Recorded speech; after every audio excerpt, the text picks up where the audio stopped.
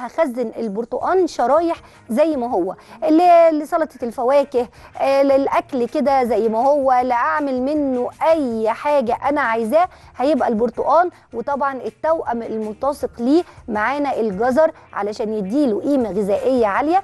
بيدي طعم عصير البرتقان المحترم وفي نفس الوقت يا جماعة بيدي اللون الحلو بتاع عصير البرتقان أنا لو عصرت البرتقان لوحده هيبقى لونه باهت شوية ومصفر. لما بحط عليه الجزر بيديني لون عصير البرتقان الحلو جدا. دي هتبقى أول طريقة هنخزن بيها النهارده البرتقان إن شاء الله. تاني طريقة بقى اللي تهمني جدا جدا هعمل عصير البرتقان المركز بالسكر بتاعه المركز جدا جدا وهيتشال في باب التلاجة لأنه هياخد السوى بتاعه على النار المظبوط يتشال في باب التلاجة ما يجرالوش أي حاجة خالص. بجيب الكوباية بحط تلتها بس من عصير البرتقان المركز اللي أنا هعمله أو حتى ممكن نقول عليه شربات البرتقان وبكمل بقية الكوباية مية. يعني معنى كده إن الكمية اللي أنا هعملها دلوقتي هتبقى ثلاث أضعافها لما آجي أستخدمها بإذن الله. شربات البرتقان المركز. عبارة عن إيه؟ عصير برتقان وهنعرف دلوقتي عصرناه إزاي. جزر وبشر البرتقان ده مهم جدا جدا عشان يدي الطعم والنكهة القوية جدا للبرتقان. وسكر وعصير ليمون. لتر عصير البرتقان هحط عليه كوبايتين مليانين سكر. بنزود السكر لأن ده مركز يا جماعة. كل اللي بعمله بعد كده إن أنا بزود مية بس. الطريقة الثانية اللي هو بقى تخزين البرتقان هيبقى برتقان شرايح وجزر مسلوق نص سلقة بس. مش أكتر من كده. دي كده المقادير بتاعتنا. ده ده جزر ني عادي متكحت ومغسول كويس قوي متقطع حلقات كده بالشكل ده. هنا وهنا. حلو كده؟ واحدة فيهم بس هيتحط عليها بشر البرتقان اللي هي بتاعة العصير المركز. بصوا يعني مثلا هي حوالي كوباية مية هنا. أهي كده. ونفس الحكاية كوباية مية برضو هنا. أهي. بالشكل ده. تعالوا بقى دلوقتي هنا هنعمل إيه؟ آه ادي البرتقانه سليمة. عايزه أوريكم القشر ده. ده بتاع الطبقة الخارجية بس. بجيب المبشرة العادية اللي هي مبشرة البصل وببتدي أكحت القشرة الخارجية من غير ما بوصل للطبقة البيضاء. ده كده بشر البرتقان. عايزة كمان أقول لك حاجة؟ البشر ده هنخزنه هناخد منه شوية زي ما اتفقنا للجزر المسلوق والباقي هنخزنه يبقى معايا بديل لل- للفانيليا وأحلى من الفانيليا كمان في أي وصفات فيها بيض.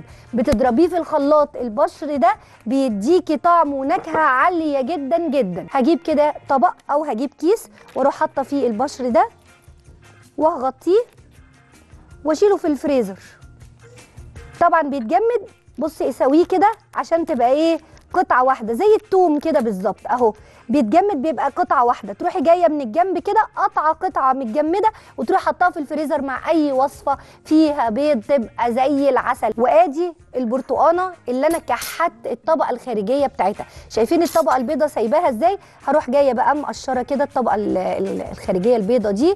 البيضة دي ملهاش أي شغل معانا لأن دي اللي بيبقى فيها المرارة اللي بنشتكي منها كلنا. ادي البرتقانة اللي أول خدت ال- ال- القشرة بتاعتها بشرتها وبعد كده رحت شايلة الطبقة البيضة وتروحي مقطعاها كده. بسم الله. حلقات كده بالشكل ده. دي أول طريقة معانا يتخزن شرايح كده بالشكل ده. وحطي عليه الجزر. علشان لو جيتي تضربيه تعمليه عصير تضربي معاه الجزر منه فيه. ده اللي هيتخزن مع شرايح البرتقان من غير البشر. شكرا ليه يبرد خالص. وبعد كده بروح حطاه في الطبق أو في الأكياس مع شرايح البرتقان التاني بقى اللي فيه البشر البرتقان ده, ده لازم يتهري. عايزاه يتهري تماما.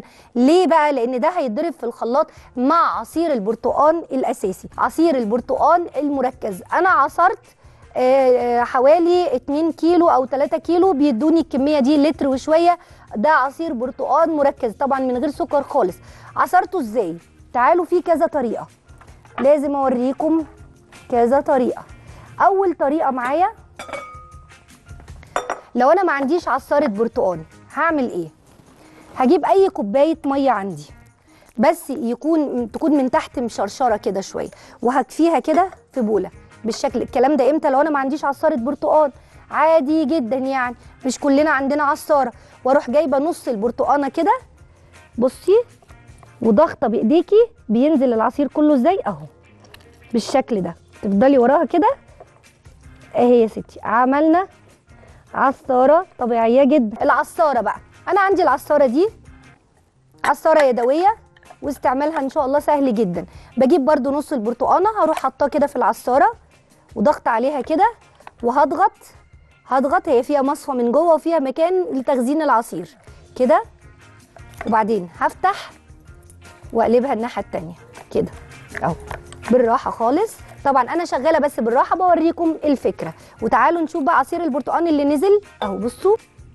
ومتصفي وزي الفل. هجيب كل العصير اللي أنا عصرته وأحطه في الحلة بالشكل ده. إحنا دلوقتي بقى بنعمل عصير البرتقال المركز. ياخد غلوتين. على ما ياخد الغلوتين تعالوا الجزر اللي أنا سلقته مع بشر البرتقال أضربه في الخلاط. هاخد بقى شوية من عصير البرتقال ده هحطه في الخلاط. يعني حوالي كده إيه كبشتين كده عشان أضرب بيهم عصير الجزر أدوبه تماما. بعد كده هروح حاطاه عليه. تعالوا شوفوا الأول هنا بصوا لون عصير البرتقال عامل إزاي.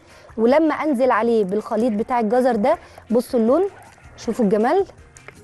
كفاية كده عشان لونه ما يغمقش قوي. بصوا بقى اداني لون البرتقال الطبيعي اللي زي العسل. هنحط لكل لتر عصير برتقال كوبايتين سكر. طبعا ده كتير قوي.